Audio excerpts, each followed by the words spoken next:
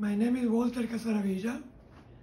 I'm an artist, a painter, and there is a mystery that would like to be solved after so many years. And the mystery is about this man,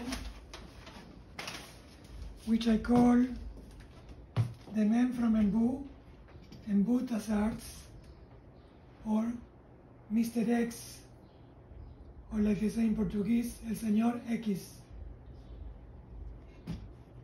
While in Hamburg, having a drink with friends at a bar,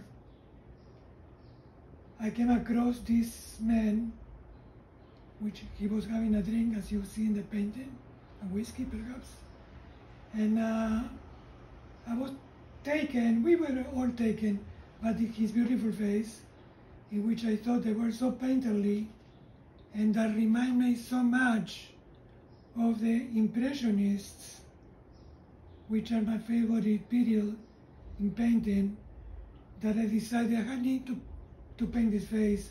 I need to make a portrait of this man. So, which I did, and this, this is the man, this is the painting. But still, who is this man?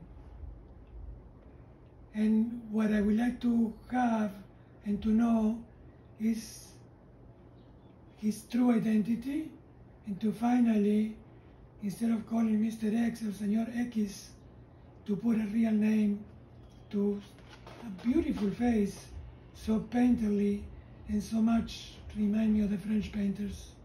So let's all give a hand and help to find his true identity.